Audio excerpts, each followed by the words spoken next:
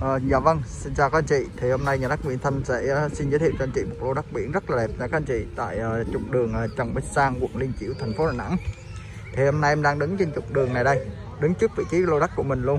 Ở đây em có ba lô liền kề với nhau, mỗi lô diện tích của nó là ngang 5 m, dài uh, khoảng 25 m, tổng diện tích trong sổ của nó là 123 m vuông nha các anh chị.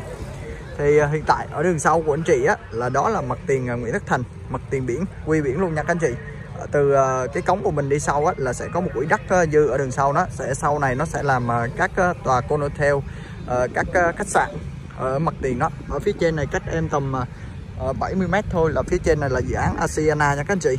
Phía trên này là dự án Asiana 33 tầng. Hiện tại đang bán giá là rất là đẹp. Thì hiện tại cái lô của mình đây ngang 5 m dài nếu mà ba lô liền kề á, thì là ngang 15 m dài sẽ là tầm 25 m vuông đây các anh chị anh chị mua lô này là rất tiềm năng. Hiện tại uh, lô này đang có giá là uh, 3 tỷ 9 một lô nha các anh chị. Anh chị nào mà quan tâm cái lô này thì liên hệ cho em. Vị trí lô đất rất là đẹp. Nằm trên trục đường uh, Trần Bích Sang này. Dân cư đã ở đông đúc hết rồi anh chị thấy. Uh, vị trí lô đất là rất là tiềm năng. Hiện tại đất biển ở dưới Đà Nẵng thì rất là cao rồi.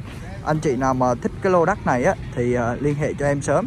Thì để em có thể làm việc với giá tốt cho các anh chị. Để anh chị uh, mua bán được uh, uh, cái uh, lô đất này với của mình để đầu tư lâu dài. Đầu tư lâu dài ở đây thì rất là tiềm năng. Uh, phía sau của mình là biển rồi mà hiện tại uh, giá của lô này khoảng tầm gần 4 tỷ thôi. Nên chị nào mà thích đầu tư cái lô này thì cứ liên hệ cho em. Vị trí nằm trên trục đường ở Trần bích Sang nha các anh chị. Rất là đẹp. Anh chị nào mà quan tâm lô này thì cứ liên hệ cho em. Nó nằm trên mặt tiền Trần bích Sang. Đây dân cư. Phía trên này là chợ Nam Ô và xin chào các anh chị. Thì em ờ, kết thúc video tại đây. Cảm ơn các anh chị đã xem video của em.